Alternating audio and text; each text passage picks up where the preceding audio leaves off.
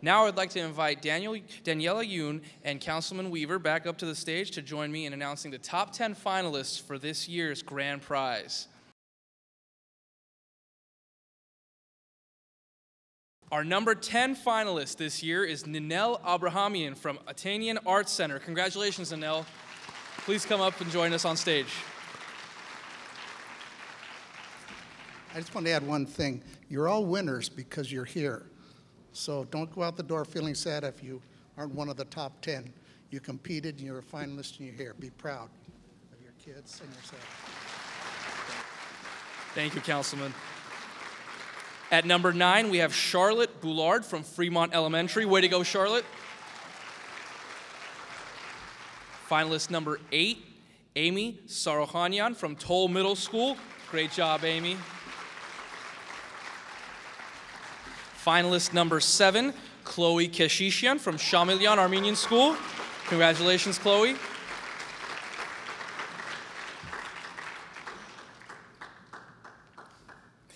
Finalist number six, Genesis Marshall from Atanian Arts School. Way to go, Genesis. Now for the top five. At number five, we have Dion Moradi from Mountain Avenue Elementary School. Great job, Dion.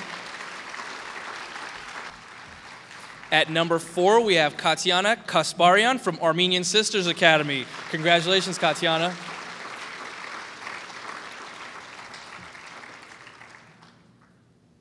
We're just moments away from unveiling our grand prize winner, so I'd like to point out that the top three finalists will all have a tree planted in their honor at the school or place of their choice in commemoration of Earth Day 2012. So now, at number three, let's hear it for Artashes Martirosyan from Mark Keppel Elementary School. Great job, Artash. This year's second place finalist, Thais Arieta from Glen Oaks Elementary School. So that just leaves us with this year's grand prize winner to announce. Ladies and gentlemen, boys and girls, it's with great pleasure that I introduce to you our 2012 grand prize winner for the I Love My Neighborhood poster contest. I am part of my neighborhood, Michelle Tomasian from Balboa Elementary School.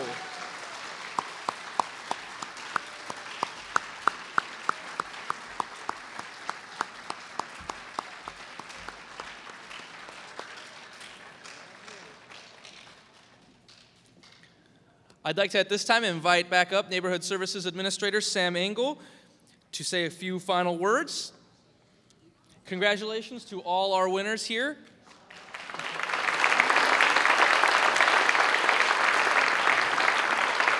Congratulations to all of you. Let's give them a round of applause before I go on with the other stuff. A couple of other things. We heard a little bit about thanking the teachers and the teachers thanking everybody and talking about a village raising a child. All of this would not happen if it weren't for the support of the parents. Parents, I don't want you to applaud. All of the contest winners, I want you to thank your parents with a round of applause because they did this. Contest winners, thank your parents with a round of applause. They are supportive of you, and you certainly could not have done this without them and we appreciate them. We appreciate you. Now, I would like to invite up here with me Inspector Litter. And Inspector Litter's right here. One of the things that we do at the end of the ceremony is we all take a pledge to do what our artists told us that we would do this year to take care of our community. So let's all stand. Let's raise our right hand, and I'm going to say it. You're going to repeat after me. I promise, to be a part of my neighborhood and my community, to be a part of my neighborhood and my community, to pick up litter, to not graffiti, to recycle this earth's resources, and make our community and Glendale a better place. You've taken the Glendale um, Inspector Litter Pledge. Congratulations. We expect you all to live up to that. Have a seat. Michelle, describe your poster. Come on up here and tell us what, why you did your poster. I drew, I drew my posters to show how I am part of my neighborhood. I drew myself inside a tree, and on each branch, I I show something about Glendale. On, on the first branch, it's a light bulb that saves energy. On the second branch, it's a picture of a jewel that represents Jewel City. And on the branch in the middle, it shows the picture of the world that shows I'm in my neighborhood.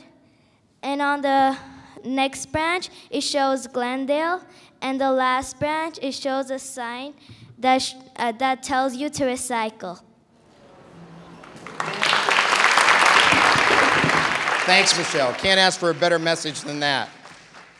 That's a sign of a true leader, don't you think? Enjoy the reception for your child's, fir- I'm assuming, first um, art showing and gallery showing. Thank you all for being here.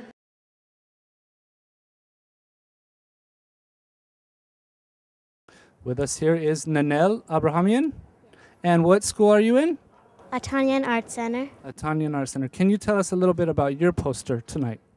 I drew um, butterflies holding the I am part of my neighborhood and kids, including me, um, helping um, the, our city be clean and green.